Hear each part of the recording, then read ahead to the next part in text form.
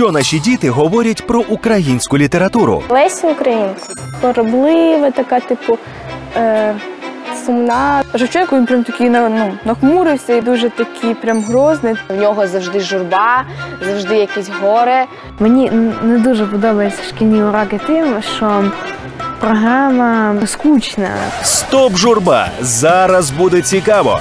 Ті, хто любить сковороду, hands up! Ми розпочинаємо вікторину про українських письменників.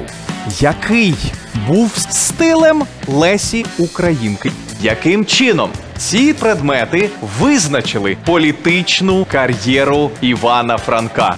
Подивіться на мене. Вилити Коцюбинський? Так! Побігли! Школярі з різних куточків України перевірять свої знання. Так, лайк чи скіп?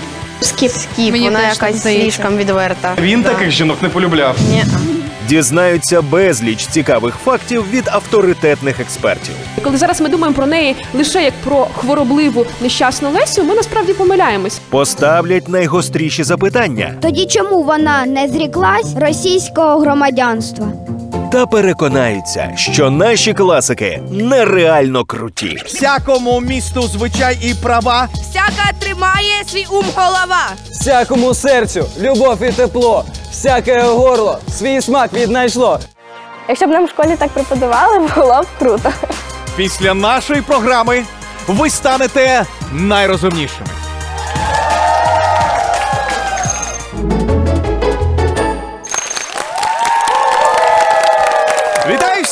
Шоу Ліс рук.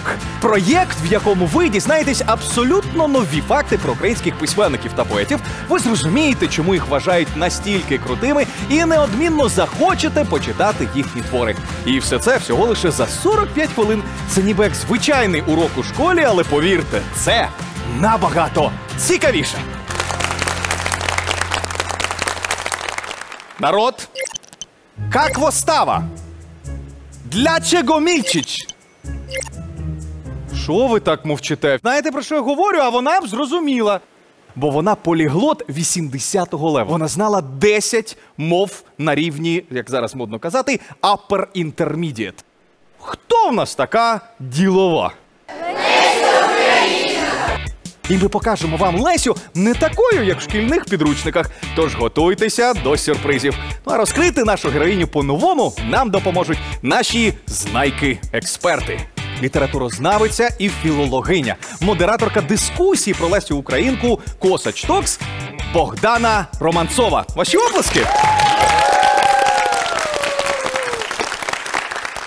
А друга чарівна експертка не просто так викладає українську мову літературу, але й сама пише посібники. І ще й такі, що учні потім відірватися від них не можуть. Ольга Вороніна. Дайте шуму! Перед нами стоїть нелегке завдання розказати про Лесю так, щоб усі ці діти і мільйони дітей по всьому світу захотіли прочитати її книжки. Ви зможете? Безумовно. Я думав, ну спробуємо, я не знаю, але дівчата в нас бойові. Круто. Я нагадаю правила. У нас вікторина, в якій будуть питання про Лесю. Якщо у вас готові відповіді, ви просто підіймаєте свою руку. Ваші відповіді прокоментують наші поважні експертки і визначать, хто із вас був правий. Ну а ще розкажуть багато цікавого про нашу Лесю Українку. Наш перший сенсаційний блок із назвою Леся не Українка. Ви заінтриговані? Так. Абсолютно. А про що мова? Чому не українка? Хлопці, Лариса Петрівна Косач це справжнє ім'я Лесі Українки. пані Богдана, пані Ольга, посвітіть. Українка це псевдонім.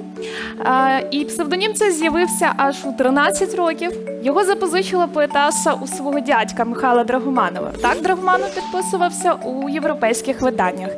Отже, в першому нашому блоці будуть питання про Лесю до 13 років, до того як власне вона взяла псевдонім Українка. Так, мені потрібно 5 сміливців.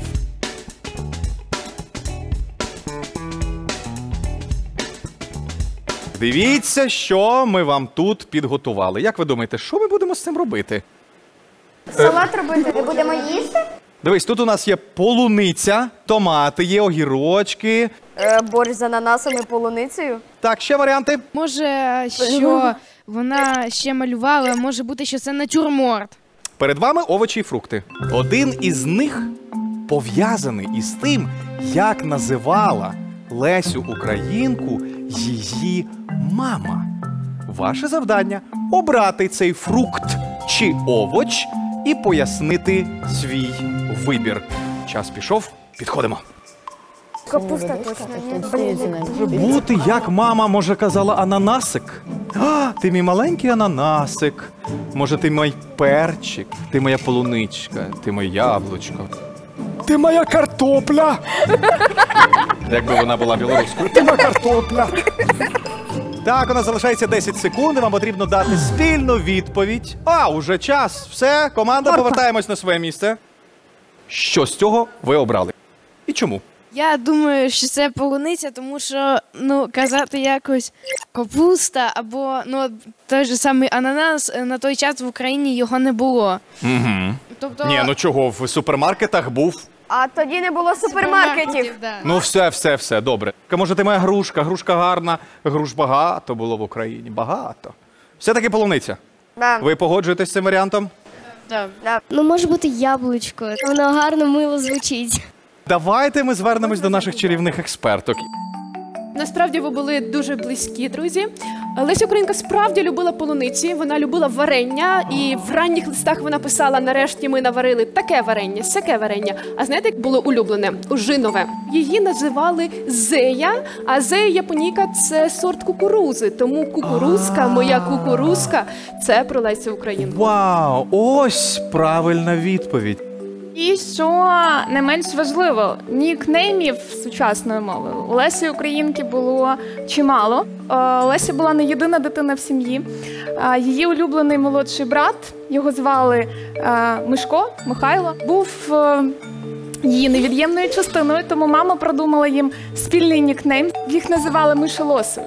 Це круто. Дякуємо нашим експерткам. Ви всі насправді молодці. Ви дуже гарно пофантазували. Думаєте, ви всі варті нагороди? Ось, будь ласка! Найбільша 200-гривнева купюра, яку я коли-небудь бачив в житті. Так, звісно, на цій купюрі у нас зображена хто? Але в мене питання до експертів: а родина самої Лесі була заможною чи не дуже? Шестеро дітей, двоє дорослих успішних батьків, відома мама, відомий в колах української інтелігенції тато Петро Косич, який мав статус статського радника, який був завжди запрошений на всі бали. Це найкрутіші тусовки 19 століття. Родина була настільки заможною, що дозволила собі наприкінці 19 століття дати вищу освіту п'яти дітям. А шості з них Лесі Українці дати приватну освіту, що, мабуть, було ще дорожче. Тато заробляв е, на рік 2500 рублів.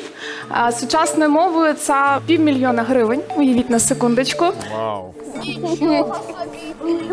Це 500 тисяч гривень. Якщо говорити про освіту, то мати розробила для неї спеціальну окрему програму. Одразу вчили її шістьох мов, тому ніколи не жалійтеся на вашу англійську, географії, історії і. В принципі, всього, чого тільки можна. Насправді вона була досить сувора вчителька, і вже в 9 років Леся Українка пише свого першого вірша, а згодом у 13 починає друкуватися у різних періодичних виданнях. До речі, стосовно першого вірша, про який згадала пані Богдана, клас. І мені потрібні четверо учнів.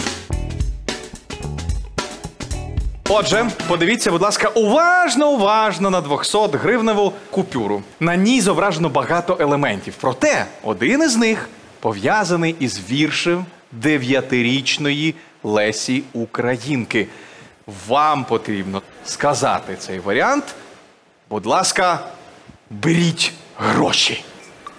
Ну, наскільки я пам'ятаю, вірш був про маму. Так, про маму? Так. Може, це число 200? Може, вона про 200 щось писала? М, Дерево. Дерево. А, Луцький замок. Ну, це типу вишня. М. Мікрофон?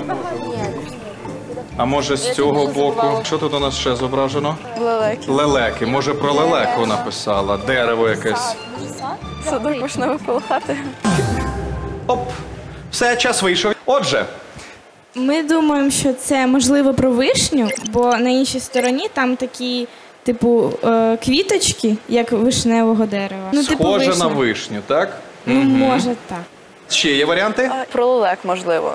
Бо на іншій стороні теж зображені лелеки. Е, пані Ольго, пані Богдано, чи вгадали наші учні? Були дуже близько. Насправді, я думаю, вона трішечки могла недолюблювати птахів. А знаєте чому? Чому? Бо свого часу Леся Українка вважалася не першою поеткою в Україні. Першою була пані, якою був псевдонім Дніпрова чайка. І вважали, що Леся лише друга. Я думаю, що чайок вона точно не любила. Лелек, можливо, трішки недолюблювала. А якщо говорити про правильну відповідь, то це справді дерево, тільки не вишня, це ясен. І він був біля Луцького замку. Подивіться, зображено. На жаль, його розчахнула блискавка, і тепер його більше немає. Але Саме під цим ясеном Леся і написала свого першого вірша. Ми дякуємо вам, дякуємо за змістовні відповіді, дякуємо дівчаткам. Будь ласка, займайте місце у класі. Ну і все, і 200 гривень забрала. Ви знаєте, я от думаю, а що там такого під Ясенем біля Луцького замку дев'ятирічна Леся Українка могла написати? Що взагалі можна заримувати в такому віці? А, даремно такий е, скептицизм вмикати, коли ми говоримо про Лесю. А, усі 9 років Лариса, та майбутня Леся, проводила у колі е, української інтелігенції. Постійно спілкуючись з корифеєм українського театру Михайлом Старицьким, найвідомішим композитором Миколою Лисенком і головним своїм, а, ну сьогодні скажемо, менеджером Михайлом Драгомановим, рідним дядьком. Круто. Що ж, для того, щоб розібратися в поезії надзвичайно талановитої дев'ятирічної Лесі Українки, мені потрібні три дівчинки. Хто хоче себе відчути Лесею?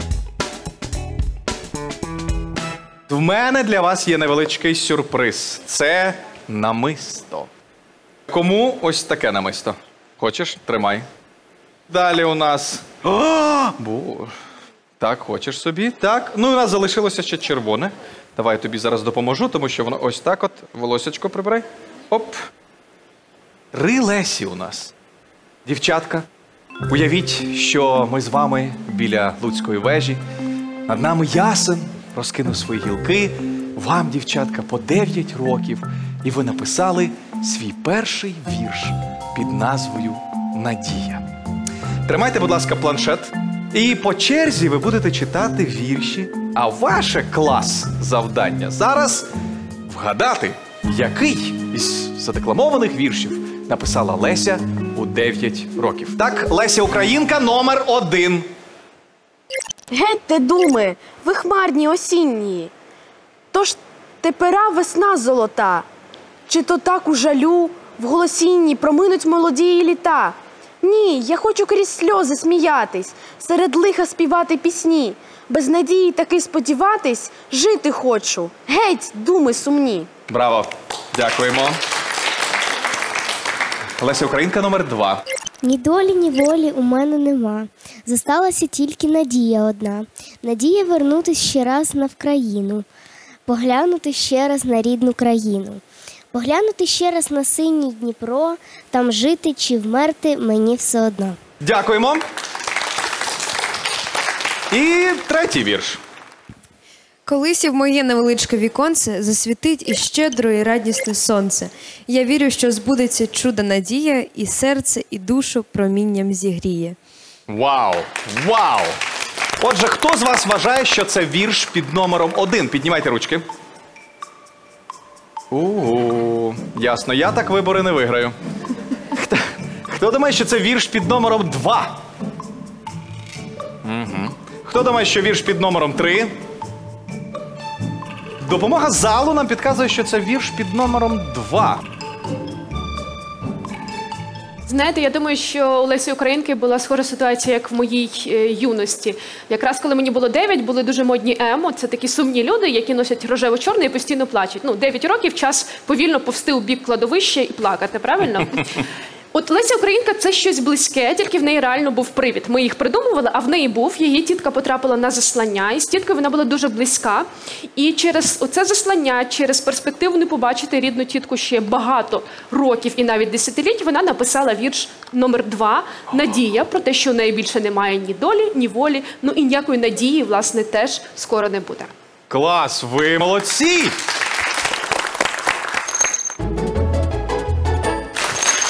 Насправді ми лише по верхах пробіглися по дитинству Лесі Українки. Та наш клас підготував для вас, шановні, кілька питань, щоб зрозуміти, яка ж вона була маленька Леся Українка.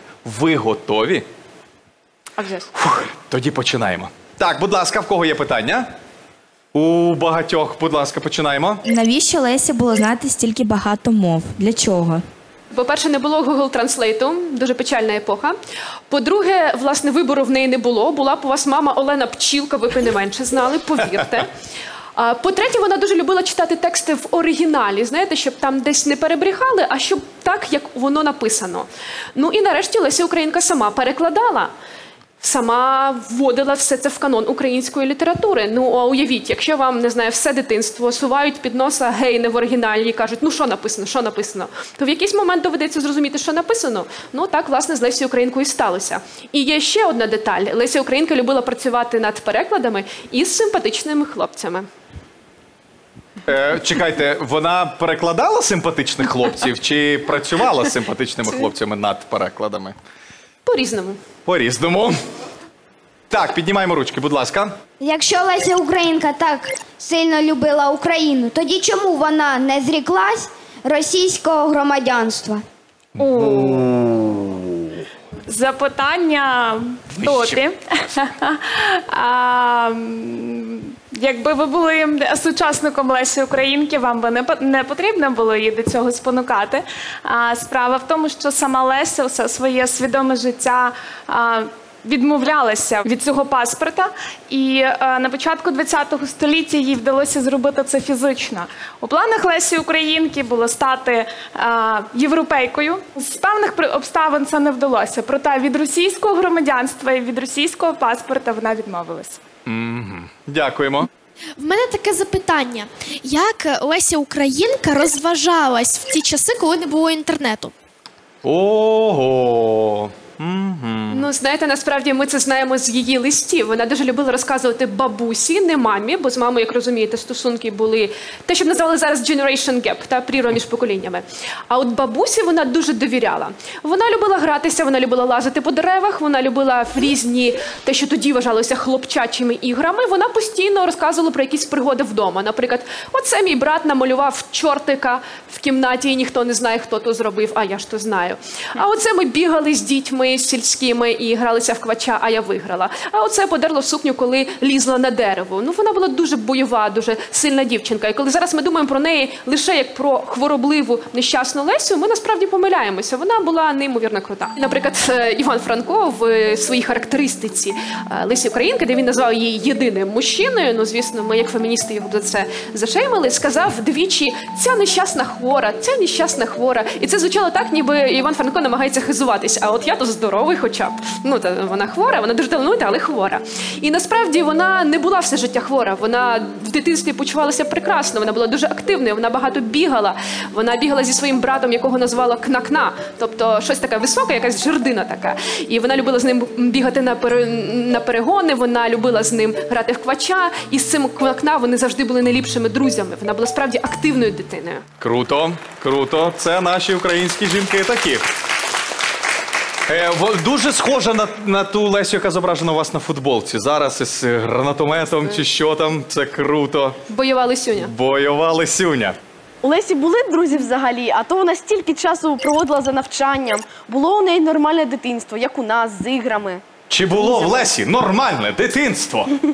Насправді, звісно, було. У Лесі було багато друзів. Я вам скажу, що вона була центром багатьох компаній і в дитинстві, і в старшому віці. З нею дружили не лише брати-сестри, з нею дружили всі. Вона дуже класно конектилася із сільськими дітьми. Вони приймали її як свою, бо вона говорила їхньою мовою, без усіх цих складних високих слів. Вона дуже любила оцей цю можливість знаходити контакт. А потім, коли Леся переїжджала уже в більш дорослому віці, вона завжди знаходила свою компанію. В неї був ну по суті літературний салон. До неї рвалися приходити. І жінки, ну і насамперед чоловіки, звісно. Так, ми з запитаннями закінчили. Ах, 2022 рік. Нове покоління українців. Скажіть мені, будь ласка, чи любите ви розпаковку? Unpacking. Робите це в своїх сторінках в інстаграмі. Ні. Давайте спробуємо це зробити просто зараз в шоу Ліс рук. М. Умови дуже прості.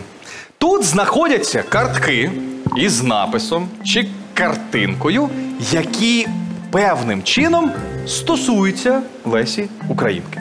Кожна команда по черзі має вийняти картинку, озвучити, що там написано, і разом зі своєю командою відгадати, яке воно має відношення і стосунок до Лесі Українки.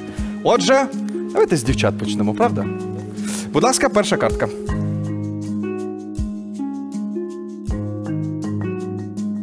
Цифра 10. Вона вчила 10 мов. Вона вільно Ну, знає. спілкувалася, перекладала і спілкувалася десятьма іноземними мовами. А ми можемо, до речі, зараз е, пригадати, що це за 10 мов. В неї були, звісно, давні мови, бо так треба. Ух ти. Та в неї, звісно, була німецька, в неї була французька, в неї була італійська. Вона вчила іспанську. До речі, коли вона вчила англійську, вона сказала: ну доведеться вчити. Це, звісно, не популярна мова. Ніхто власне нею і не говорить, якщо чесно. Але я так люблю вчити мову. Ну хай вже буде та англійська до комплекту. А найбільше і найкраще вона знала, до речі, німецьку. Саме з німецької вона починала свою кар'єру і навіть друкувалася німецькою мовою в оригіналі. Я думаю, тому що гонорари в німецькомовних часописах були кращі. Ух ти, круто. Хлопці, е, карта під номером 2. Будь ласка.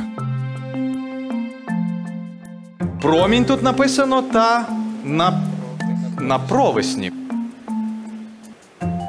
Перший варіант це що це назви її перших віршів. А другий варіант, що це можливо журнали, в яких видавалися її вірші. Щось з цього має бути правдою. Має бути. Проте це був апгрейд Лесою українкою е, тодішньої мови. А промінь та напровесні це слова, так звані неологізми, які з'явилися е, із думок Лесі Українки. Тобто Леся Українка вигадала і сама ввела в літературу слово, яке ми знаємо всі, вважаємо це літературним українським словом промінь і ще одне слово на провесні. Круто! Додам також, що не тільки Леся Українка. Насправді її мама Олена Пчілка була в цьому плані ще божевільніша. Приписують до 10 різних слів української мови, які зараз ми з вами вживаємо, які сама пчілка придумала і ввела в мову. І ви тільки уявіть, як з цією сімейкою грати в ерудит. Кажеш, нема такого слова, вона така, та вже є. І є, і все, нікуди не подінешся. Круто. До речі, моя бабуся теж вела одне слово, тому що вона в дитинстві постійно мене так називала. Це слово чаморошне. Вона постійно казала, синок, ти ні з чого не їсиш, якесь ти чаморошне. Так, наступна картка. Певно, картина. Це з нею або мама, або бабуся, або одна із сестер.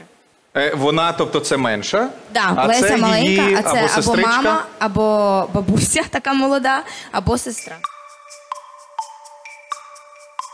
Насправді ми знаємо Лесю Українку як відому поетесу і як людину перекладач перекладачку. А також вона ще й була музиканткою і художницею, і вона писала картини, і одна з них збереглася. Ось ви тримаєте її в руках. Уявляєте, якщо е, в неї б не ста не вийшло із перекладом, вона могла б стати професійною художницею. В людини було б дуже багато запасних варіантів професії. Картина називається, до речі, Мати і дитина над пташиним гніздом. Подивіться, там все це є. Круто, дякуємо. Рухаємось далі, хлопці. 26-16 Леся. Щось типу ребуса, можливо, це номера Це літер алфавіту. Включаємо інтуїцію і. Ми чомусь вирішили додати ці цифри, і у нас вийшло 42. І ми подумали, що це може бути вік, у якому померла Леся. Ага. В астрологію занесло хлопців. Потужність Лесі Українки е, настільки визнана, що на честь неї було названо астероїд. Астероїд під номером 2616 іменем Леся.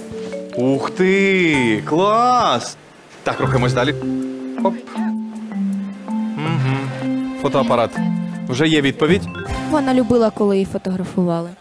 Ви справді маєте рацію. Вона дуже багато фотографувалась. Вона взагалі вважала фотографію дуже естетичним напрямом, але при цьому вона ніколи собі не подобалася на фотографіях. І з цим велика проблема. До речі, на портретах вона також собі не подобалася. Леся Українка це нічний кошмар будь-якого портретиста.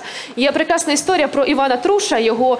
Дуже відомий портрет Лесі Українки, який ми бачимо тепер ну на безлічі книжок, в безлічі джерел. Так от, коли Леся побачила цей портрет від Івана Труша, вона порвала з ним усі зв'язки. Вона сказала: не відмічай мене на цій фотці і забудь про моє існування. Вона повністю з ним розірвала будь-які стосунки, бо їй не сподобалося, як вона вийшла на портреті.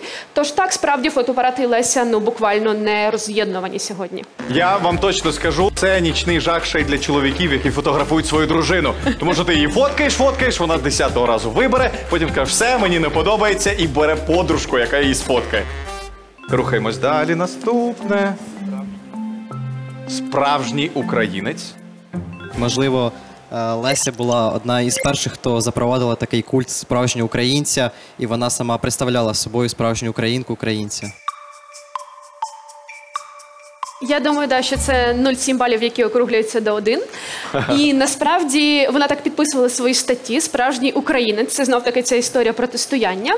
А те, що вона жінка і підписувалася чоловічим іменем, то я вам скажу, що це взагалі дуже поширена тактика у 19 столітті.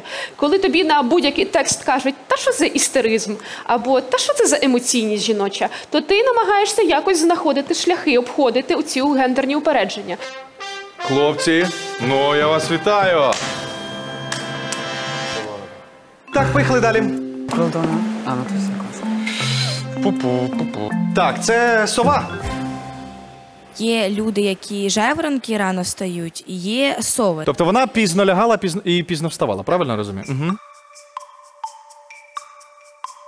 Приємно мати справу е, з е, к- смітливими дітьми. А Леся Українка справді е, точно не була жайворонком. Вона могла е, цілу ніч писати е, листи, писати твори. Додам також, що порівняно із лордом Байроном Леся Українка рання пташка. Лорд Байрон вважав, що неправильно показувати, що ти можеш прокинутись раніше п'ятої вечора. Тому, якщо не дай Боже, він прокидався раніше, він просто сидів собі вдома, як правило, у ванні, як правило, з шампанським, і вдавав, ніби він спить. Бо справді аристократія, а Леся Українка, як ви знаєте, аристократка, ну не могли собі дозволити вставати рано. Ну це знаєте, якось навіть незручно. Я хотів би зараз передати привіт своєму татові. Пане Валерію Андрійовичу, ви справжній лорд Байрон. Давайте ще одну картку, хлопці. Історія давніх народів Сходу. У Лесі Українки була сестра, і вона в цілях її освіти е, вона переклала німецькі праці, деякі із інших е, робіт, і вона написала таку працю, як Історія давніх народів Сходу, щоб е, розповісти своїй сестрі саме історію цих народів. Боже, це абсолютний зарах, і навіть е, більш ніж зарах, зарах з плюсом. Вона справді написала цю історію, справді взорвалася на німецькій, також французькій праці. І що, наприклад, цікаво, це перша така історія взагалі в українській літературі. І вона, наприклад, там описала створення Сфінкса. Це, напевне, перший такий опис дослідження того, як було побудовано Сфінкса. Бінго, 100 із 100. Я вас вітаю. Добре, це всі картки. Ми дякуємо нашим учням.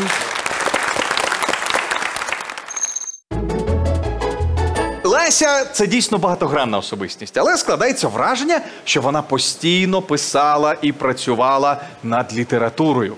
А як пройшла її молодість, її, ну скажімо так, підлітковий вік? Насправді Леся Українка прекрасно проводила життя. За кордоном вона бувала, вона багато подорожувала, вона збирала свої колекції, вона перекладала, вона зустрічалася і заводила романи. Ух, ух, ух. І відвідала, до речі, вісім країн. Що немало для того часу. Нічого собі, а це чимало. Так, скажіть мені, будь ласка, хто з вас любить подорожувати? Мені потрібно дві команди по троє. Отже, перед вами, як бачите, мапа.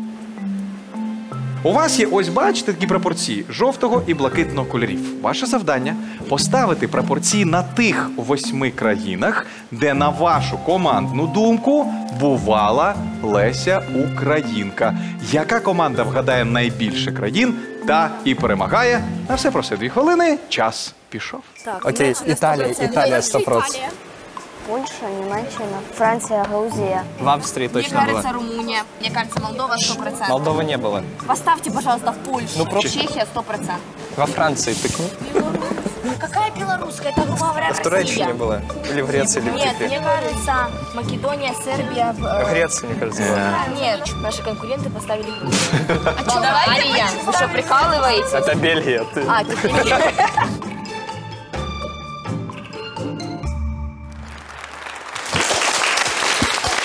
Так, час вийшов.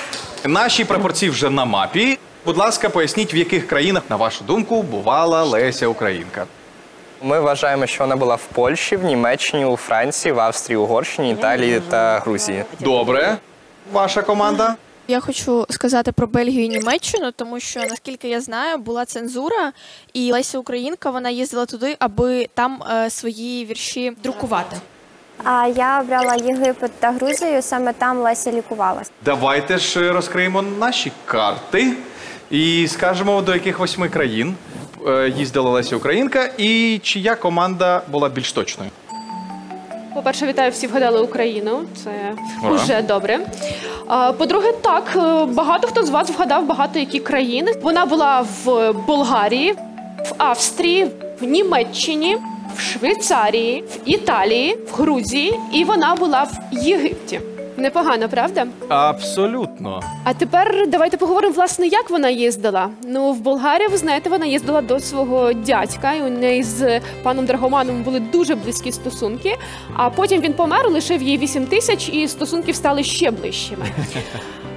Крім того, вона дуже любила Єгипет. Там тепло, там прекрасно. Вона там дуже багато всього написала. Бояриню, єдиний сюжет з української історії, вона написала саме там. І ми бачимо певні паралелі між Єгиптом, Єгиптом, єгипетським полоном і україно-російськими стосунками того часу. Вона не дуже любила Австрію. А знаєте чому?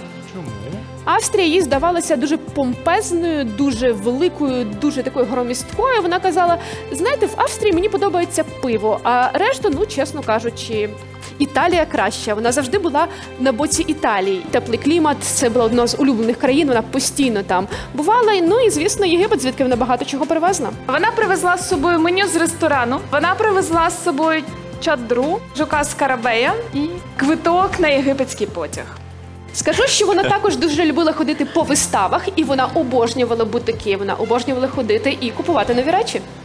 Круто. Отже, давайте ми зараз порахуємо. У нас команда, яка поставила жовті прапорці, вгадала 5.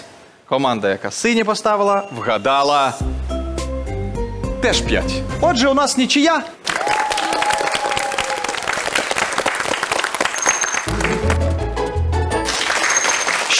Пані Богдана сказала про те, що Леся Українка в подорожах любила ще й ходити по магазинах. Зараз би так сказали, була шопінг-lover ом. Уявіть собі, будь ласка, ікону стилю 150-річної давності. Я попрошу моделей в студію. У нас модне дефіле.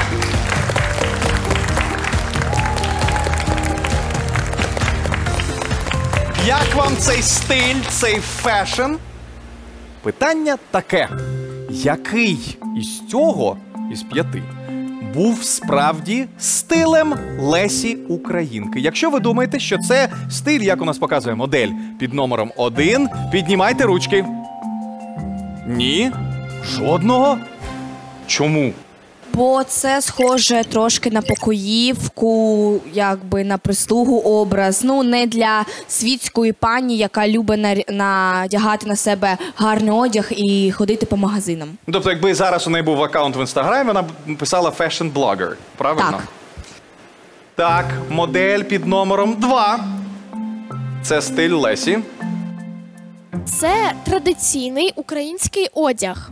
Тобто, можливо, вона інколи так вдягалась, але як сказали наші експертки, то що вона любила модно одягатися в різних закордонних магазинах, тому я думаю, що цей образ був таким не найулюбленішим у Лесі Українки.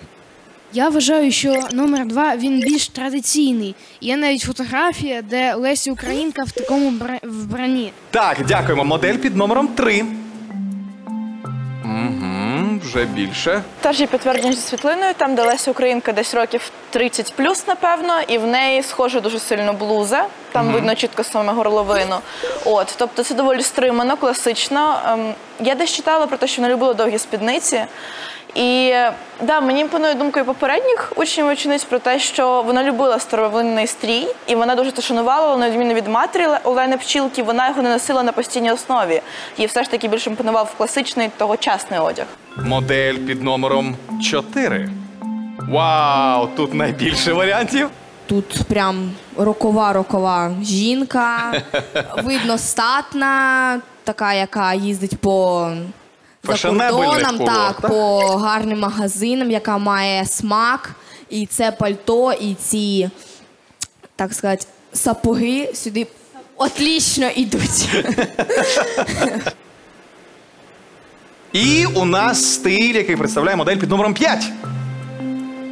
Такий е, от аристократичний, гарний, е, ну я вважаю, е, такий гарний стиль. Ну мені подобається. Е, І ви думаєте, що Леся Українка могла так е, вбратися Так, і так. ходити? А куди б вона могла ось такій е, красивій сукні піти? М, Не знаю, е, ну по тим самим магазинам, по яким вона ходила, щоб е, показати, що вона гарно вміє вдягатися і що їй потрібен гарний одяг. Жінки завжди жінки. Прекрасно. Давайте послухаємо наших шановних експерток. Леся Українка дуже елегантно вдягалася, і ви можете це побачити. Е, Ні, вона не носила аж такий вінтаж, як у варіанті номер 5. Насправді Лесю Українку можна впізнати за однією дуже характерною ознакою. У неї завжди була підкреслена талія. Вона була дуже тонкокосна, і наприкінці життя в листах вона описувала власне свою фігуру і писала, що я там важу зараз 49 кілограмів. Вона не була низькою жінкою, вона була справді тоненькою, такою вишиканою, елегантною. Вона любила легкі блузи, вона любила довгі сукні. Сьогодні сказали би, що цей стиль неоромантичний. Вона любила підкреслити лінію плечей, вона любила жакард, вона любила привертати увагу. Однак в повсякденні найчастіше вона носила от саме такі, як третій варіант, блузки на випуск, тонку талію, е, довгі спідниці. Якщо говорити про вишиванки, так вона їх носила, але це було здебільшого на свята. Ну, наприклад, приїхати на відкриття пам'ятника Шевченкові. Однак загалом вона вдягалася як сучасна жінка і носила корсети, хоча тоді вже був поширений рух за звільнення від корсетів. Але вона була така тонка і така повітряна, що насправді їй, мені здається, все це дуже личить. Тож третій варіант це наш вибір і вибір Лесі Українки. Ми дякуємо нашим експерткам, ми дякуємо нашим моделям.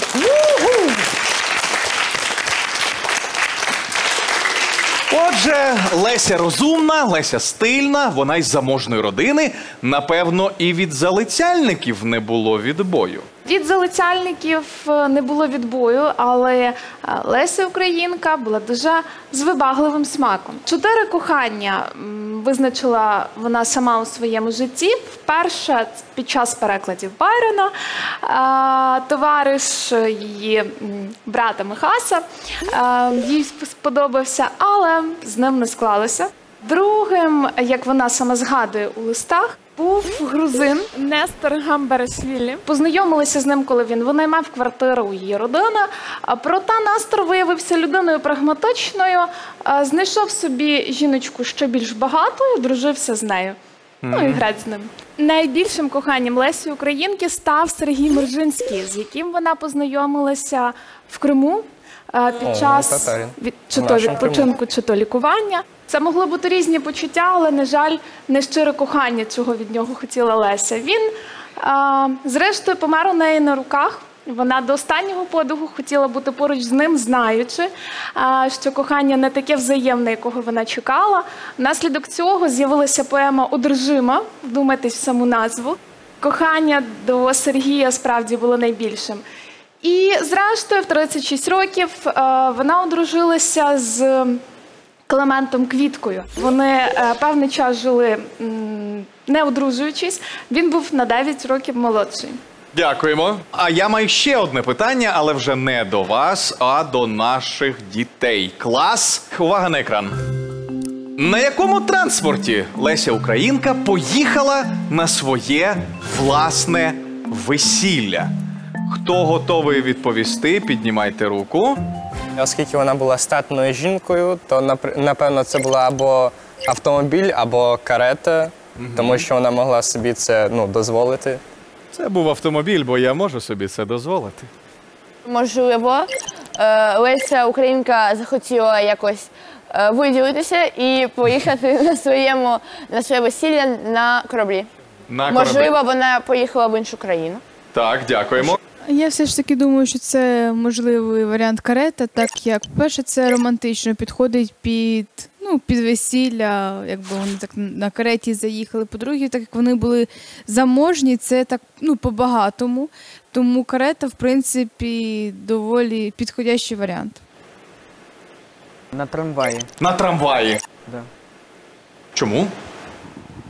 Бо туди їздив трамвай. Це логічно. Давайте зараз ми запитаємо в наших чарівних експерток, де ж е, правильна відповідь і чи був озвучений цей варіант нашим класом. Та насправді правильна відповідь була. Е, Леся Українка поїхала на своє весілля в церкву в межах Києва. Зараз це навіть не околиці, це майже центр. Нікому, до речі, не казала. Е, Мама не хотіла, щоб вона виходила за Климента Квітку. Насправді, і понад те, знаєте, як сталося цікаво з ними? Е, Він сподобався її, коли приїхав її втішати після оцієї печальної ночі з Маржинським, коли він помирав і помираючи, сказав Леся, піклуйся про іншу жінку, бо її я саме кохаю. На рівень френдзони, да? Ого! Приїхав Квітка і сказав: «Ме- є ж я, я молодий, красивий. На що Леся, просто тужачи над е, Оржинським, сказала: хто мене любить, той зараз кинеться зі скелі. Ну що ви подумаєте, Квітка побіг кидатися? Ледве зупинили. Інакше б не було у Лесі такого чоловіка.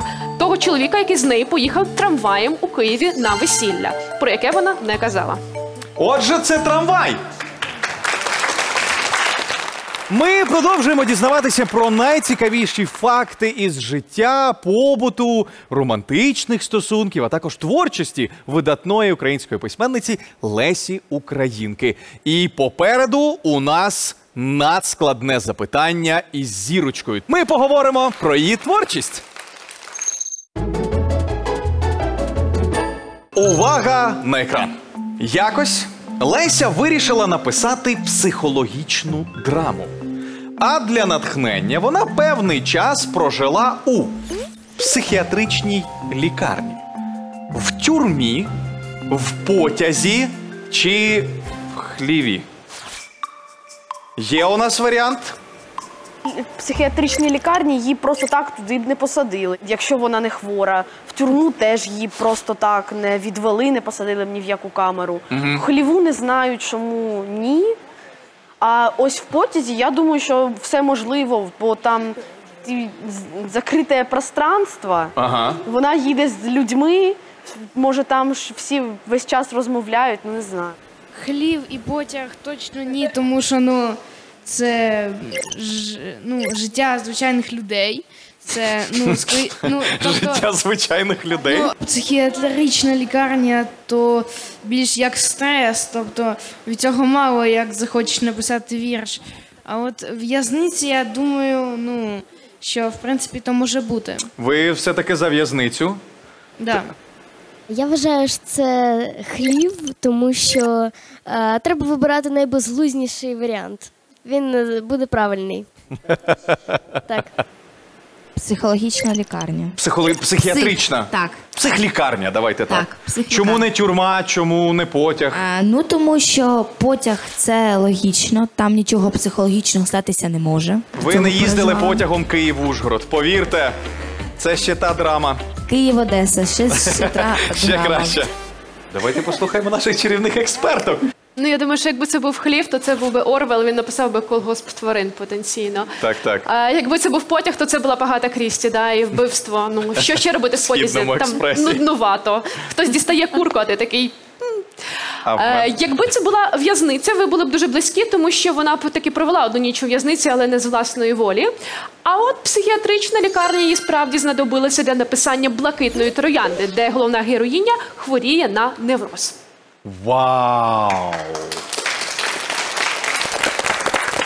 Ми повернемося ще раз до блакитної троянди.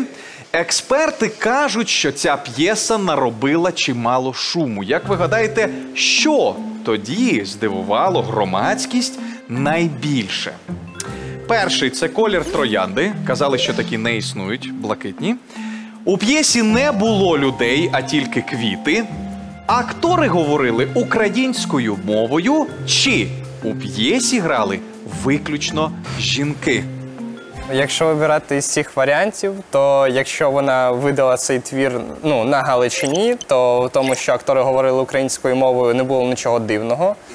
Те, що у п'єсі грали лише жінки, ну, можливо, б трохи щось дивного було, оскільки жінки в той час були трохи якби пригнічені в правах, не те, як чоловіки. Я вважаю, що могли існувати блакитна троянда.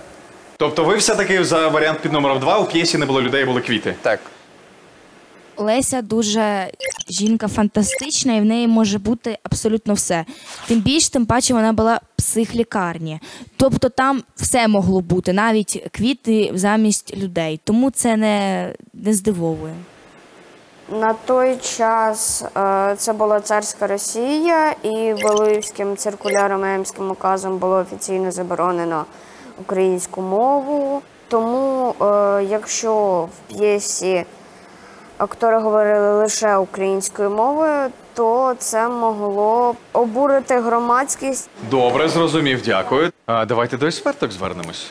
Правильна відповідь це третій варіант. Актори говорили українською мовою. А п'єса була презентована а, у тодішній надніпрянській Україні і зчинила фурор. А, шквальна е, критика, купа негативу і повне нерозуміння журналістами, перш за все, ось якого факту. Звідки Лесі в українському Києві вдалося знайти всіх україномовних акторів? Важливо, що там саме інтелігенція говорила про е, українською мовою, і це виводило українську мову із під такого статусу селянського мовлення для отих людей, які мали в хліву жити. Це мова інтелігентів, інтелектуалів, це мова освіченого люду, це мова літературного салону. Круто. Дякуємо. А, і ще одне питання до вас, шановний клас. Як гадаєте, чому російська пропаганда забороняла друкувати бояриню, яка вже була згадана нашими експертками? Варіант перший. Драма була написана українською мовою. Леся пояснювала в ній, чому ми з росіянами різні народи. Варіант номер три. Леся описувала у драмі себе як бояриню. Або варіант під номером 4 Леся засуджувала у творі царя. Варіант номер один. Хто за цей варіант, е, що драма була написана українською мовою? Є один, два, три. Е, Леся пояснювала, чому ми з росіянами різні. Леся Українка принципово не вивчала російську мову. І на фоні цього факту я обрала другу відповідь. Ми відрізняємося, ну, взагалі всім. Це могло зруйнувати схему царя, що українці і росіяни один народ. Варіант номер три Леся описувала в драмі себе як бояриню. Ніхто не вірить в Лесю як в бояриню? Добре, і останній четвертий Леся засуджувала у творі самого царя. Так, е, поки що за кількістю рук я можу визначити, що найбільше проголосувало саме за варіант номер два. Чи вгадав хтось із наших юних експертів? Насправді так, ви молодці. Більшість проголосувала за другий варіант, і це варіант правильний. Справді Леся Українка пояснювала, чому українці з росіянами різні народи. Понад те, вона казала, так, іноді наші цілі можуть збігатися, але боротися нам варто окремо. І в одному з листів Лесі Українки є дуже смішний епізод. Вона описує російський корабель, який щойно спустили на воду. Він весь такий красивий лискучий, але вже розвалюється. Ну, знаєте, от е, реальність не змінюється впродовж століть. І каже: бачите, що побудували наші співгромадяни, але не співвітчизники. Оскільки цю фразу вона написала італійською, я думаю, що цензор цього просто міг не помітити. Дякуємо. Ах, як, як, би, як би хотілося, щоб той корабель мав назву Москва. Так само. Отрицательне сплиття. Ну і зараз, напевно, найскладніше запитання з усіх. Я би поставив його нашим експерткам, проте спочатку запитаю у вас. Отже, у чому феномен лісової пісні? Варіант А. Твір написаний у рекордно короткий строк.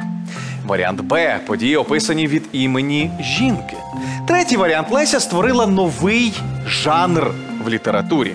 Або четвертий варіант Леся отримала за твір премію. Ніколи вона не отримувала премію. Новий жанр в літературі, ну щось якось. м, От, ну, як сказати, ну от я думаю, що вона нічого не створювала. А події описані від імені жінки, це ну багато творів вже було описано від імені жінки. Угу. Ви думаєте, що все-таки рекордно короткий строк? Не через те, що це підходить, а через те, що інші не можуть. Я більш схильний до варіанту, що Леся створила новий жанр. А який жанр? Я не знаю, просто якось. Я просто відкинув всі інші варіанти, залишився лише цей. Я хотів трішечки доповнити його слова. Це була драма. Це була драма. Лісова пісня це драма. Перейдемо до правильного варіанту. Насправді твір написаний у рекордно короткий срок, але Леся не була перша в цьому. А, насправді Леся створила новий жанр у літературі це драма феєрія, але й до неї створювали нові жанри. Леся не отримувала за твір премію. Проте це став перший твір у модерній українській літературі, в якому події описані від імені вільної жінки. І слово вільна тут було ключовим. Додам також, що Леся Українка принципі переосмислила всю європейську міфологію, багато які образи і історію з погляду жінки. Подивіться, Дон Жуан у Лесі Українки, кам'яний господар. Це погляд жінки, яка насправді переграє чоловіка. Це коли він її свайпнув туди, а вона наприкінці сказала: Та ні, знаєш, все ж не подобається. А, наприклад, її оргія або її руфіни Присціла це переосмислення античної історії з погляду жінки. Таким чином, Леся Українка насправді переписала цілий прошарок нашої культурної спадщини. Браво! Ми переходимо до нашого четвертого фінального блоку під назвою Леся навіки. Лесі Українці вдалося закарбувати себе навіки за 300 рублів на купюрі в 200 гривень, однак за 300 рублів. Це дуже великі гроші на той час. Середня зарплата, була десь ну 20-30 тогочасних рублів. Як ви гадаєте, на що вона витратила ці гроші? У нас є варіанти відповідей. Перший вона надрукувала усі свої твори. Друге, вона записала свою пісню. Третій поставила собі пам'ятник і зробила фотосесію. Хто за перший варіант надрукувала всі свої твори? Е, Я не буду. Так, записала свою пісню. Я не знаю, чи мені ще треба далі продовжувати. Чи вгадав майже одноголосно наш клас. Так, ви вгадали, справді вона записала свою пісню. Цей голос не дуже добре чути, але все одно чути. І звідси ми знаємо, що в Лесі Українки ще й голос був. От пощастило людині. Ми просто зараз можемо вам продемонструвати сюрприз. Слухайте уважно. Співає учасниця Євробачення кінця 19-го, початку 20 ну так би зараз оголосили, століття, яка закарбувала свій голос навіки в історії. Отже, це оригінальний голос Лесі Українки.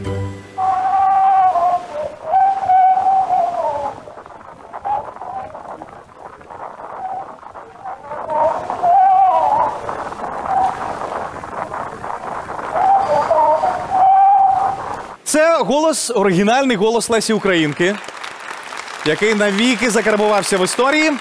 Зрозуміло, що тоді техніка не могла так класно передати. Якби були айфони, звичайно ж би якість запису була кращою. Це був фонограф насправді, Ага. і до речі, цим фонографом е, Колеса, відомий етнограф, досліджував українські пісні. І Леся Українка дала справді на цю експедицію гроші разом з своїм чоловіком, але приховувала від самого колеса і казала: та то якийсь добродій тут меценат безіменний підкинув тобі грошей, бери, типу, щоб колеса таки взяв. І колеса взяв, і це дозволило зберегти дуже багато народних пісень. А Шазам мені підказав, що це одна із дум, які власне були записані. Круто. Ви знаєте, я особисто сьогодні дуже багато цього цікавого дізнався про Лесю Українку. І вона для мене і справді нереально крута. А якою ви сьогодні побачили Лесю, шановний клас? Крутою. Крута! Яка ще? Модна, стильна, Цікава. фантастична, Цікава. цікава, Сильна. Неоднозначна. О, клас. Сильною Патріотична. Оригінальна. Я дізналася стільки нового, що мені здається, навіть е, в школі я стільки не дізнавалася. Я думала, що вона така простушка з, з села, що вона ну не цікава. Ну а виявилось, що вона об'їздила пів Європи. Для мене це було як відкриття. В школі існує стереотип, що вона така хвороблива, така, типу, е, сумна завжди зображена. Але насправді вона була крутою, такою драйвовою, типу, дівчинкою. Це вільна жінка, яка буде робити те, що бажає вона, а не те, що говорять їй. Вона для мене є прикладом, яким е, як треба прожити життя. Я б хотів, щоб саме такі уроки були в наших школах. Я вважаю, що це було б надзвичайно цікаво. Ми дякуємо нашому класу, ми дякуємо на нашим чарівним експерткам. Я сподіваюся, після нашої програми і всі телеглядачі перечитають Лесю з новими враженнями. Це було шоу Ліс Рук. Зустрінемось за тиждень із новим крутым классиком. Па-па!